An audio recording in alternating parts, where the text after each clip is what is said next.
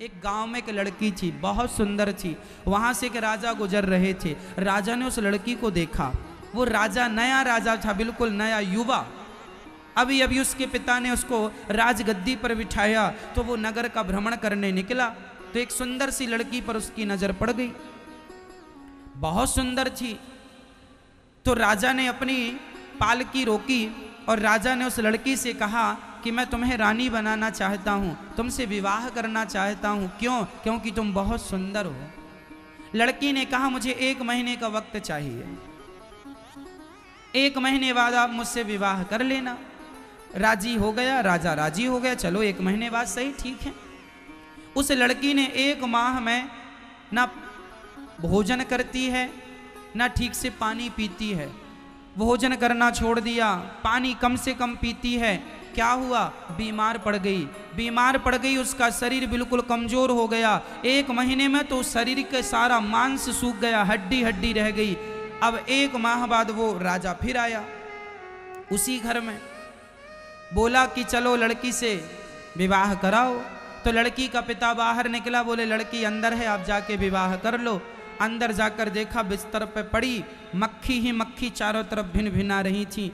बड़ी गंदी सी हो गई थी, बदसूरत हो गई थी। राजा डर गया। अरे, हमने ये लड़की को थोड़ी पसंद किया था। वो सुंदर सी जो लड़की थी, वो कहाँ गई? हमें उससे विवाह करना था।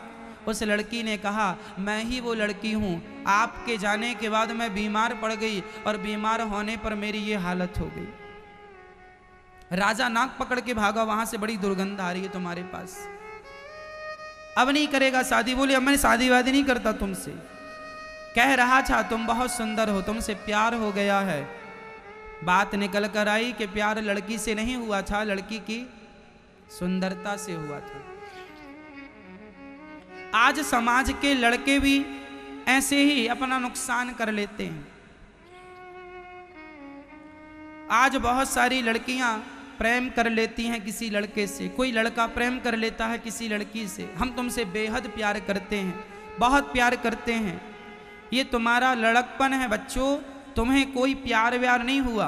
तुम तो जानते भी नहीं कि प्यार की परिभाषा क्या होती है। प्रेम की परिभाषा, शायद किसी को पता हो कि प्रेम क्या होता है। जैसे वो राजा उस लड़की को छोड़कर वापस आ गया, ऐसे कोई आपसे कहे कि मैं तुमसे प्यार करता हूँ तो मेरी बहन बेटियों, आपसे कहता हूँ कोई आपसे प्यार नहीं करता, आपकी सुंदरता से प्यार करता है। यदि उसे आपसे प्यार हो गया तो आप सुंदर हैं, इसलिए तो हुआ। नहीं तो कोई काली सी लड़की जो मंदिर के बाहर भीख मांगती है, उस लड़की से तो कोई लड़का नहीं कहता, मैं तुमसे प्यार करता हूँ। भीख मांगने वाली लड़की बिल्कुल काली कलूटी हो, उससे कोई प्यार करता है? पर कोई सुंदर हो जाए, सुंदर हो तो प्यार करने वालों की भीड़ लग जाती है। इसका अर्थ यही है, कोई भी तुमसे प्यार नहीं करता, प्यार तुम्हारे शरीर से है। यही वासनाएँ हैं। उन वासनाओं को आजकल लोग प्रेम कहते हैं। आजकल के नौजवान बच्चे जो पढ़े लिखे हैं, जो I S, I P S बनना चाह रहे हैं, इस लेवल के बच्चे, आजकल आप लोग अपनी वासनाओं को ही प्रेम समझने लग गए हैं। आजकल के लोग अपनी वासना को ही क्या मानने लग गए हैं? प्रेम। प्रेम वासना नहीं है मेरी माँ। प्रेम का नाम क्या है? प्रेम है त्याग। गोपियाँ वृंदावन में रोती रह गईं। वृंदावन से मथुरा बहुत दूर नहीं था। चाहती तो रोज जाकर के गोपियाँ भगवान से मिल लेती। लेकिन गोपियाँ कहती हैं कि मैं कृष्ण से प्रेम करती हूँ। कृष्ण जैसे मैं खुश रहना चाहें मैं कृष्ण की खुशी में अपने आप को खुश रखूँगी, क्योंकि कृष्ण यदि मेरे से दूर रहने में खुश हैं तो मैं दूर रहूँगी, मैं पास जाकर उन्हें दुखी नहीं करना चाहती। बलिदान का नाम प्यार है, त्याग का नाम प्यार है। प्रेम ये होता है,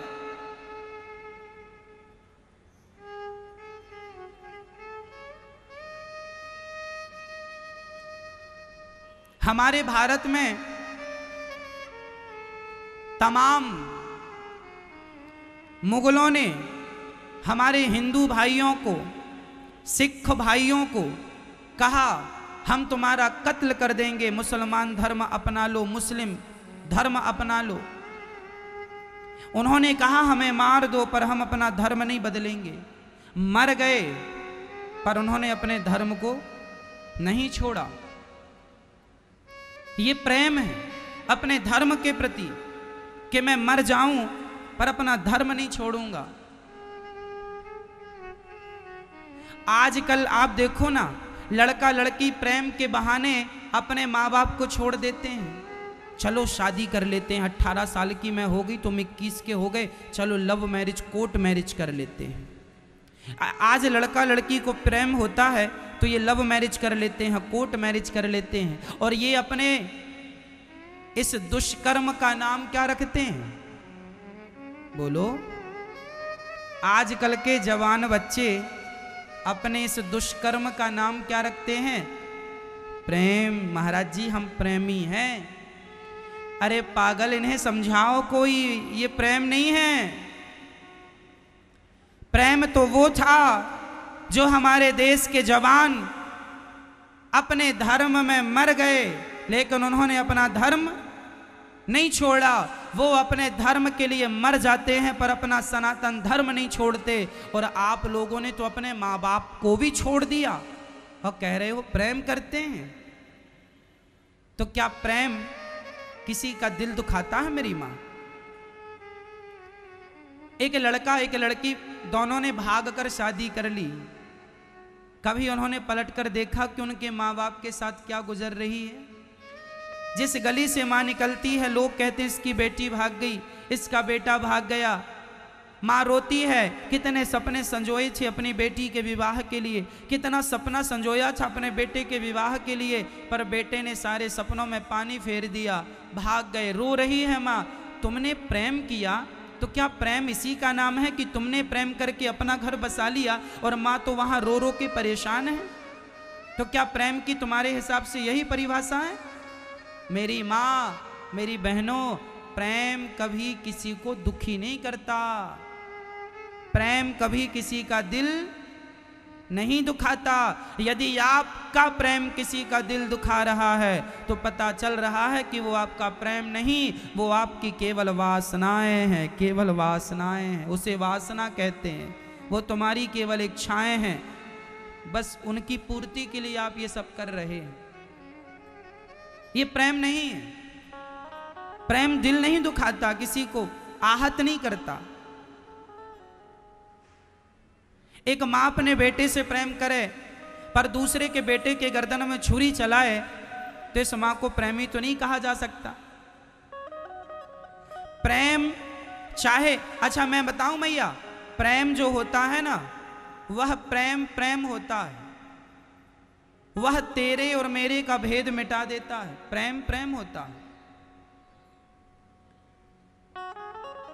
भगवान श्री राम को सबसे प्रेम था इसलिए केवट के भी नाव चढ़े। जटायु पक्षी से भी प्रेम था तो उसके द्वार भी, भी गए और शबरी के बेर भी खाए। प्रेम था। और रावण को मारा तो रावण को राम जी ने इसलिए नहीं मारा कि राम जी रावण को दुश्मन मानते थे।